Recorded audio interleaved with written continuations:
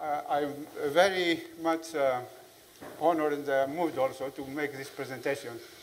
I had several uh, options to, for the talk, and uh, the suggestion was to talk about the last item, enclosure and facade fires.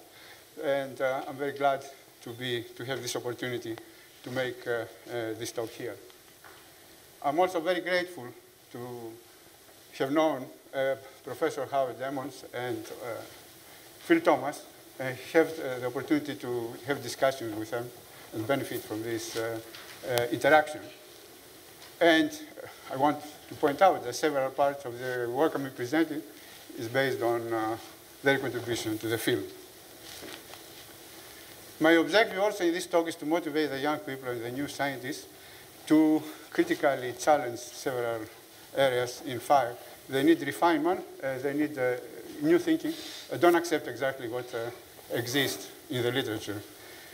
Uh, and I also apologize that I will not mention a lot of people who uh, have worked in this area. With all this background now, I can proceed with an outline of the talk, essentially two parts connected, as you will see. And uh, one is the enclosure fires. I will uh, discuss not everything, but uh, the things uh, I have worked and mostly related to underventilated fires. Or, and I will discuss some issues with geometry and openings. And also what is the source fire, if it's liquid or gaseous, or uh, solid and location, but there are a lot of uh, uh, issues there. what is the burning rate inside the enclosure? And what is the mass pyrolysis rate inside the enclosure? Which is the last one. In uh, the context, this area is very important, as you know, for the design of fire-safe buildings, including the facades. You can have a fire in uh, an enclosure,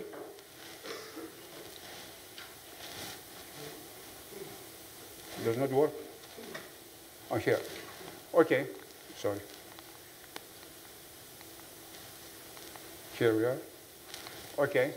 Now enclosure, and uh, if the, when the window breaks, if it breaks, the flames can go out, and uh, the fire can propagate to, to, the, to the next floor. Uh, and uh, uh, the conditions in the room uh, can be underventilated, the left-hand side, or overventilated. Uh, usually it means that the, uh, the underventilated case is more serious. And uh, it's very important to distinguish these two, two cases when you design for, for, for a building. Uh, this, I, I, show you the practical situation of uh, floor and spandrel and the wall. And uh, this is a very big issue for the design also of test methods for facade systems. Now, we did a lot of work uh, to, to find out uh, uh, what are the effects of geometry and location of the fire. We used a, a small scale, 50 centimeter by 50 centimeter boxes, which uh, are shown here, three, three are shown here. And uh, we have also a facade, uh, which had a lot of steel plate gauges, which is uh, to measure the heat fluxes. Uh, and uh, we had several openings, and we measure the flame height with a CCD camera to determine the minimum flame height. We, we, we here just I have a sketch to show uh, different geometries, one box, two boxes, and the location of the fire. We didn't examine all kinds of geometries. But uh, this uh, was in order to see what the effect will be on, on uh, the facade fire and uh, on the conditions of the fire inside the enclosure. We concentrated on underventilated fires, not enough uh, air to, to burn the fuel. And uh, we used gas burners in order to have a controlled heat release rate. So all this uh, the, the, work we've done. This is more a sketch of uh, the measurement uh, we did, including the CCD camera. And the heat flux gauge and the, the one of the boxes. And you can see also uh, the flames here inside the box. And they were not only near the surface, they, were, they seem to be all over. This, I, I said, I will lim we limited, uh, we concentrated mostly on underventilated fires, but we did also over, over ventilated. This is uh, uh, also, we did uh, extend the geometry to six boxes, like a corridor or a tunnel fire. And in all the experiments, we collected the gases in a hood. So we, don't, we didn't only control the fuel uh, supply rate, we measured also the heat release rate. And this proved very important in the work we did. Here also, we saw some flames coming out. And now I, I, will try to explain some of, of the things that uh, occur in uh, uh enclosure fires. So uh, this is uh, well established conceptually or um, qualitatively. if the opening factor, which is this area of the opening times the height to the square root of 2, compared to the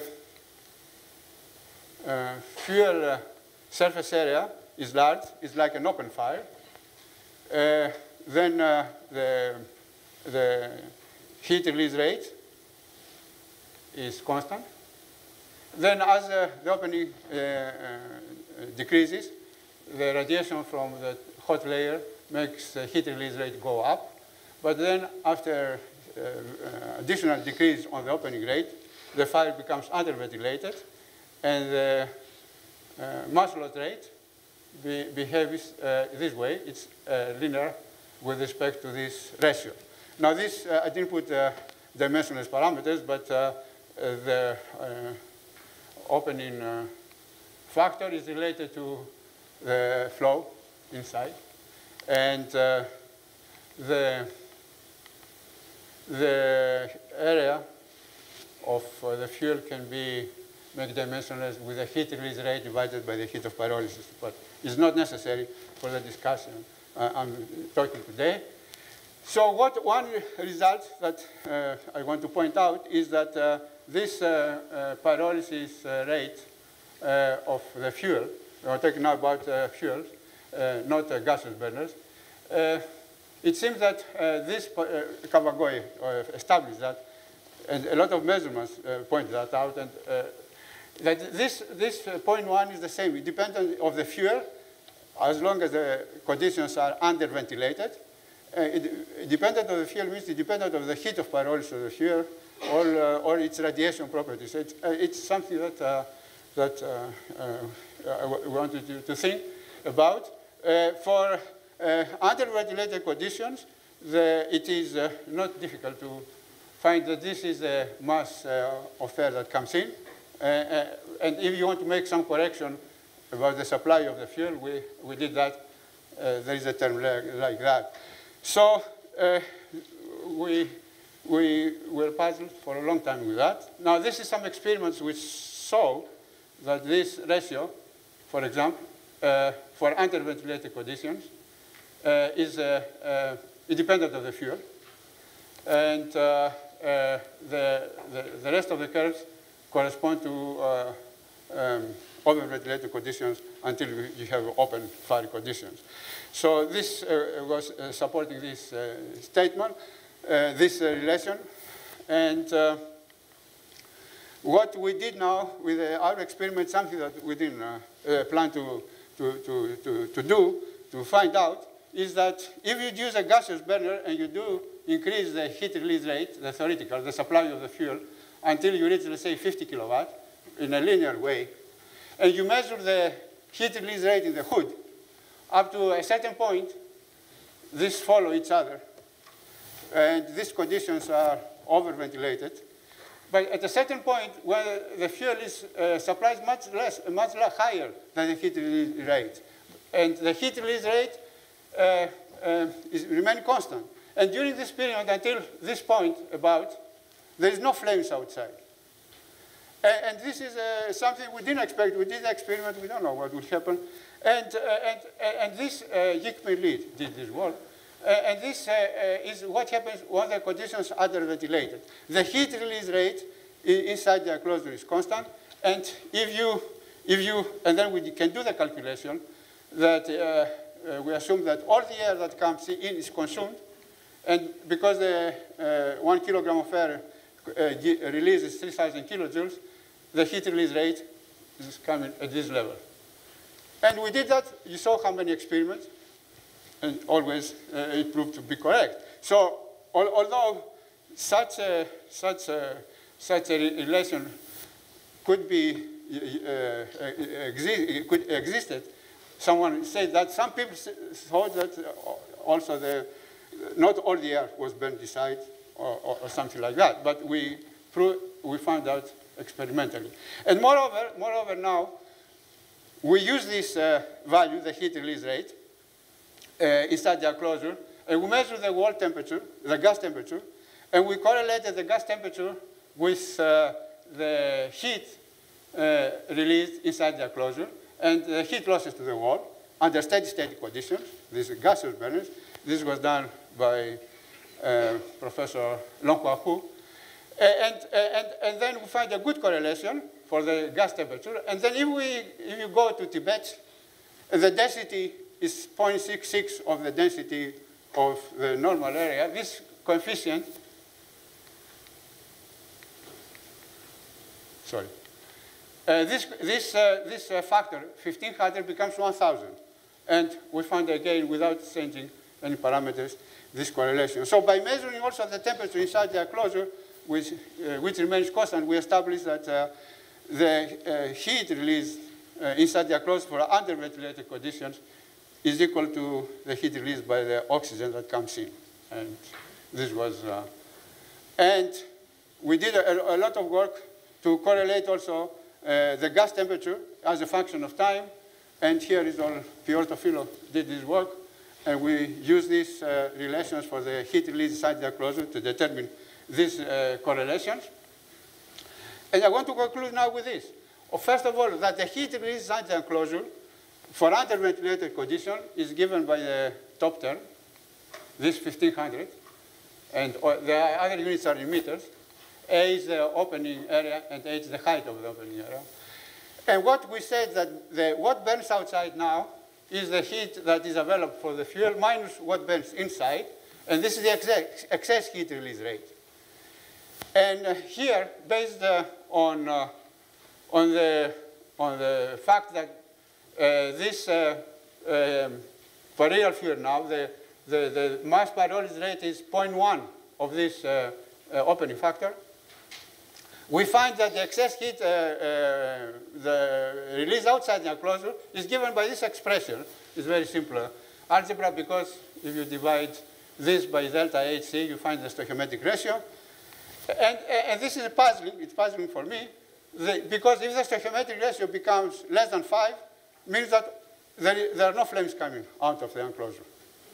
So I have, I have not done an experiment to show that, and it, it is uh, still puzzling. So this is something that people can think about and uh, try to see whether it's correct. We, will try to, to find out also.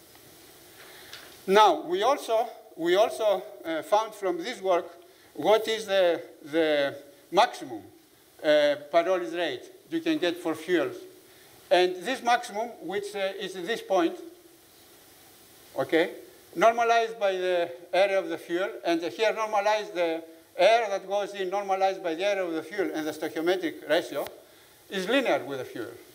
Uh, and, and, and uh, linear with this. this. This relation is linear. And this is uh, an important, important thing we use to see what happens now in corridor fires. And there is another, another uh, item here that is uh, interesting also in corridor fires or tunnel fires, and I have not seen this discussed. If you have a, a corridor fire, let's say two-dimensional, um, this is two-dimensional, then, uh, then uh, there is a, a condition that, uh, that uh, I call it sta stable discharge. So the flow may have a hydraulic jump here, but then continues this way. But if the uh, if the uh, uh, flow rate or you have a fire there, uh, what happens is uh, that the entrainment requirements for this jet are not satisfied or for this buoyant flow. So you have a recirculation zone here. And, and, and this is something that uh, we have uh, also noticed in our, our, cases in long corridors. But this is something very, I have not seen discussed in fire, and in, it's very, very interesting. And what I, will, I would like to finish this section is by pointing out that using this, this, this uh, expression that the maximum uh, he, uh, rate is linear with this uh, stoichiometric ratio, uh, we could uh, find based on experiments in uh, corridors that the relation, the relation of the mass pyrolysis rate of liquid fuels with respect to the opening factor is not 0.1 as it is in rectangular closures, but it's much less, 0.025. And this is something also I'll leave it uh, for people to, to challenge it and uh, think about. And the uh, explanation, the qualitative I have, is uh, in the picture I saw in the previous slide, that, uh, that uh, conditions are developed that you have, uh, as I call here, unstable discharge. So I conclude now that, that for rectangular type enclosures, which is, as I said before, one, two, or three boxes, the, the, the, the, the pyrolysis rate, the fuel that pyrolyzes, not that burns inside, the fuel that burns inside is the uh, air that comes in divided by the stoichiometric ratio, is given by, by this top expression. For corridors is this, and the excess pyrolysis is, the, is this relation, which again emphasizes that if the stoichiometric relation is less than 5, there is no uh, fuel comes out, uh, uh, no fuel comes outside. So. Uh, and this gives the heat release rates. I mean, I think it's the same. So I will continue now with the second part of uh, my talk. Now, how we use this information uh, to, to, to, to, find what happened in uh, the flames that come out of the enclosure. And what burns out of the enclosure is the excess pyrolysis. Okay, and that's, that's what uh, was something new we used. Because people were using the total heat release rate. But we use here the excess pyrolysis. First of all, we established some new length scales for the problem related to the facade uh, uh, flames, how the flow goes outside. And uh, we discussed, uh, reviewed the Yokoi's work, and uh, determined flame heights and heat fluxes. And we introduced, uh, doing, making this analysis, we introduced two, length scales, which is kind of all are related to, to the area and the opening factor. And the first uh, length scale uh, is, uh, is related to the effective flow uh, uh, at the opening. Um, uh, I think it, should be L1, the top slide. This should be L1. And L2 is related to how fast the flames will go out before turning up. And this comes from a, a comparison of the momentum uh, of, the, of the flow uh, as it comes out of the closer to the buoyancy. And uh, we, we relate, we use these scales to correlate the data of Yokoi, where the difference here is in the determination of the length scale Yokoi used and the scale we use here. And also Yokoi used the local, de local density and we use the, the, the ambient density. I, I, I have uh, in the paper how these relations are derived, but I think uh, I have some uh, quick uh, uh, explanation here. And the length scale that Yokoi suggested was the square root of the area of the opening, and we, we used the length scale which is related to this parameter. And uh, this is an indication how we derive these uh, length scales related to the momentum of the jet that comes out, so the flow with the buoyancy. The, uh, the third length scale uh, uh, is arrived when flames also come out. The first two length scales is only flow, convective flow. And, and, this is the conclusion of this work that uh, the, using these length scales, the correlations make uh, uh, are better than using the Yokoi scale. And at this point now, when I was writing that in September, I found Phil Thomas' work, and uh, I put that as an appendix in the paper before, a long time before last week's event. He did something similar, but I don't understand what he did. I tried to read it, and I don't understand, so, but it is in his paper, uh, and, uh, and, but, but uh, it's, it's very similar. He questioned Yokoi's relation here. Okay, and, and, no one before or after that questioned the relation, and a lot of people are using, were using this. Oh, now, see, this is basically the background of, uh, of uh, uh, the work uh, we have done. And uh, uh, you, can, you can see that uh, uh, uh, I think there has been a lot of progress in this, this way. And I will describe some applications of this physics in the work that we have done with Professor Long Hua Hu and also Professor Yoshio Miya in Japan. And uh, uh, th this is uh, another puzzle which I will present soon. So here, here is a, a, a it's a, very busy slide anyway. there is not enough time to explain here everything. But basically, the temperatures uh, were measured here, and with flames coming outside, we and we determine uh, the the the correlation using these length scales, we, the length scale we introduced before, and the excess uh, pyrolyzate or the convective. And we can, we can determine uh, what is the temperature uh, along uh, the, the maximum temperature along this uh, wall, including the flame region. So this is uh, what we did with um, um, USTC uh, um, Professor Long Hua Hu. Uh, this is a work uh, uh which uh, is used to, to determine the flame heights now uh, of the flames that come out of the enclosure. and you can see, sorry, you can see here, this is the flame height normalized by the length scale, L1. And this is the um, um, normalized excess pyrolyzate. And you can see we find two, two regions, uh, two-thirds and two-fifths. This two-thirds corresponds to uh, two-dimensional conditions. After a certain, the, all the height is uh, large, the flow becomes like three-dimensional because there are entrainments from the side, and the relation becomes two-fifths. And uh, this was also verified for uh, further experiments uh, at, at USTC. And uh, also, uh, one objective of the works, as you saw with the small uh, heat flux gauges, the objective was to measure the heat fluxes.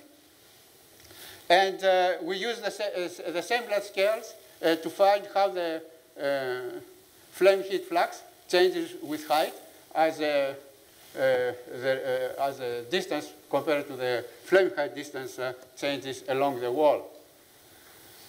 Uh, so this is, this is the uh, uh, heat fluxes. And we did also find, because as you saw, there were a lot of small gauges there. it's very cheap to, the gauges are very inexpensive to do, to measure the heat fluxes. And we did uh, this work uh, based on previous work also by John de Ris and uh,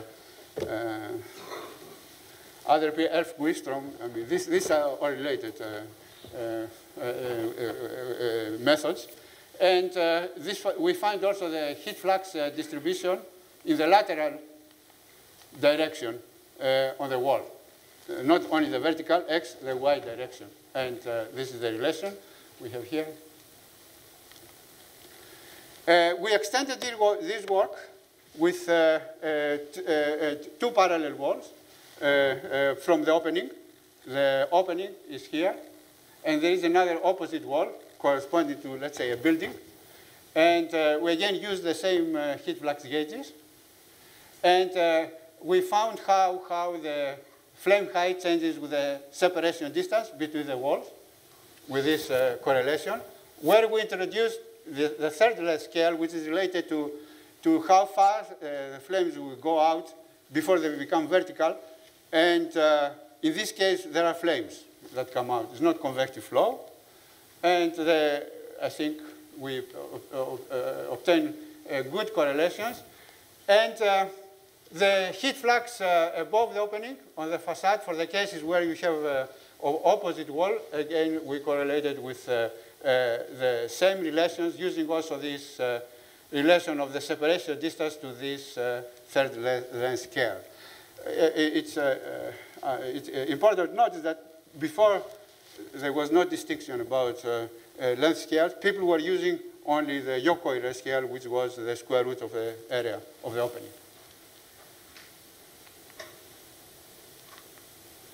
Now, uh, we wanted to, to see what, how these uh, things work when you have uh, uh two, two uh, parallel walls uh, on the opening, and this can represent a real fire. You, you, can have situations like that. And uh, uh, the, we did that in collaboration with uh, Long Hua Hu. And you see some buildings there that can have this geometry. And so this is an important geometry. Again, we use the same relations for, for, for the air that comes in and for the uh, heat release rate that burns inside the enclosure in order to understand what this, how this uh, parallel walls will affect the flame, the flame height, and the, uh, uh, the heat release rate. We collected also the gases, and we wanted to see is the, the, the heat that is released, does the heat that uh, is released in inside the enclosure uh, changes with the separation distance of, of the wall. And you can see here that uh, we have the separation distance 35 centimeter, no wall, 35 centimeter, 75 centimeter, 5 centimeter from the wall. And you can see that the heat, this is uh, the same experience I described before. We supply the fuel this way, linearly, to maximum 50 kilowatt. And we measure the heat release rate in the hood. And you can see that this, the heat that is released inside the hood does not depend on the separation distance, which is uh, an important thing to use the correlations, the relations we have. And uh, this is again a, a complicated side, uh, the way that uh, uh, uh Long Hu likes to do, which is nice. And uh, you can see the experiments, uh, what happens here when you have the side walls. You have entrainment only from one side, and this changed the situation. And we correlated again this using the length scales and the excess heat pyrolysis. So this is the important thing. You use the length scales related to the flow and what burns outside or inside the enclosure. And this is the correlation that includes uh, the effects of the side walls. D is the separation distance of the wall. Also, the, there, were, uh, the, there was uh, uh more experiments related to uh, a facing wall inclined or vertically.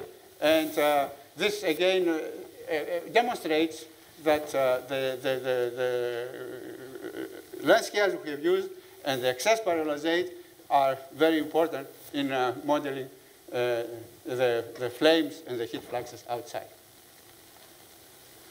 Now, uh, we also, we also uh, I mean, uh, USTC has the capability of doing experiments in low pressure without using a low pressure chamber by going to Lhasa. And uh, we did, uh, we did uh, uh this uh, experiment with a vertical wall uh, opposite. And in Lhasa and in Hefei. And we, what we, we, found is that analyzing the data of, for the temperature along the, the wall, the maximum temperature, is that the if you normalize, if you normalize the flow uh, using the gravity, the effects of density, the entrainment coefficient in Lhasa is less than the entrainment coefficient in normal conditions. Uh, we, we don't understand that. We take into account the de uh, change in density, but the, the uh, uh um, uh, entrainment coefficient becomes uh, is less. We, we, don't understand that. I, I cannot understand it. And uh, this is uh, something else that uh, people can think about. And this is the, the observation that the effective entrainment rate, this is the coefficient actually, not the rate, at low, low pressure is less than in normal pressure. That entrainment rate is dimensionless. We don't know why is this so. Okay, so this is the, the, uh, another important uh, conclusion of this work. Another application uh, we did is when you have a facade wall with two openings. And here, uh, these are the two openings. And you change the separation distance between the openings. And we wanted to see the merging of the flames. And this shows the two flames separated. As you go, there is interaction, and, there is, and then become one flame when the separation distance between the windows is zero. And, uh, and this is uh, uh, something we did recently. And we were able to use the length scales we described in the flame height to, to, to, to correlate the flame height versus the, something which is related to the separation distance um, um, between the two windows. So the conclusions uh, from this uh, part of the work is that uh, first, the, the, the, these results. The mass pyrolysis rate inside the closure is 0.1 of the, this um, ventilation factor, 8 times the square root of uh, height. And this does not depend on the fuel. Does not depend on, uh, on, you can write down the energy equation and the balance equation and it does not come out. Uh, uh and this is, the, the factor point one is one quarter for, for, for, for, the, for the corridor. Again, I mean, I don't, uh, uh, this needs more verification. There is only a few data.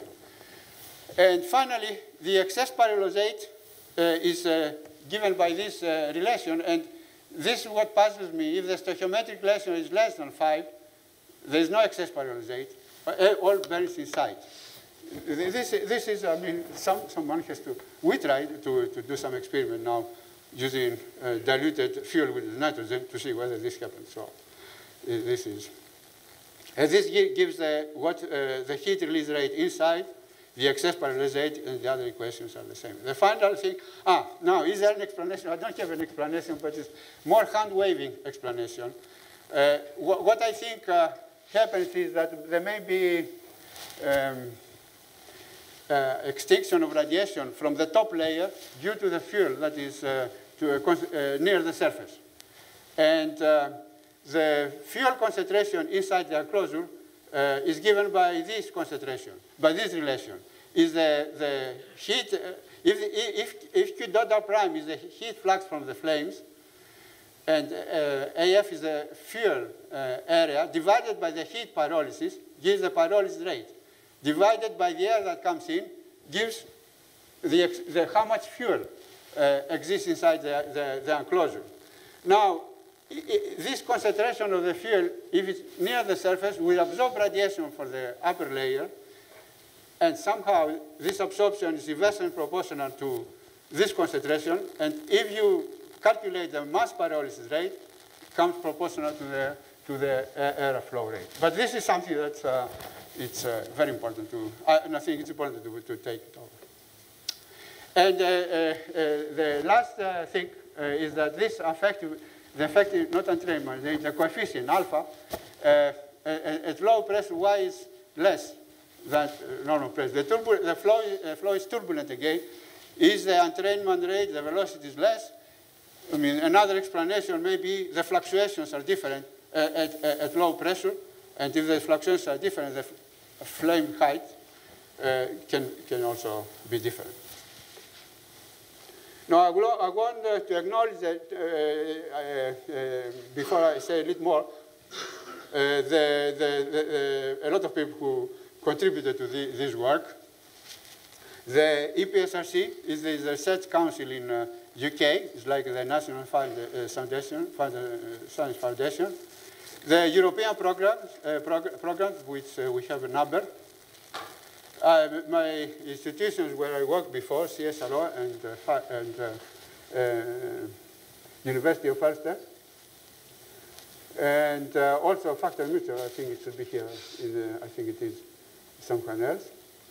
Uh, uh, uh, and also the people who did PhD work with us and all postdoc work. And especially the group of Yoshi Ohmiya, two years, Tokyo University of Science, Japan, and Longhua Hu, in SKLFS in China. Now, what we did is, uh, is uh, the, the, the, the, small scale work. And uh, the, the objective is uh, to see how uh, to design uh, facade, facades that are safe. And the, the, the, question is what kind of test you, you have to develop to, exa to examine whether a facade uh, design is safe. Now, facade is a complicated system. It's not one wall. There are different layers. There is uh, outside part of the wall. Uh, there is the insulation, and there is the inside part. And uh, some of the uh, materials may be flammable, and, and there can be serious incidents like this fire. most of what I have here is from China, but they have been in other places. And they can be catastrophic.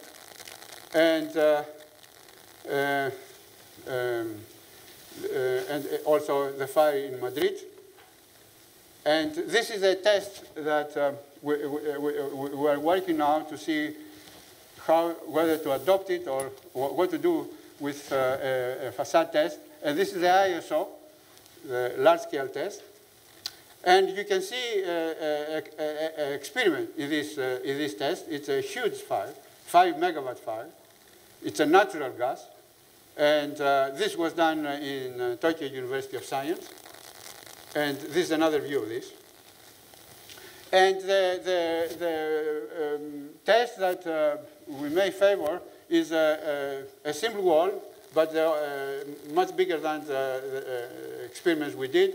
It's 90 centimeters by 90 centimeters and can be different lengths. And this uh, vertical facade is 4 meters. And experiments were done in this uh, situation. This is the, the instrumentation. And experiments were done with different kinds of facades.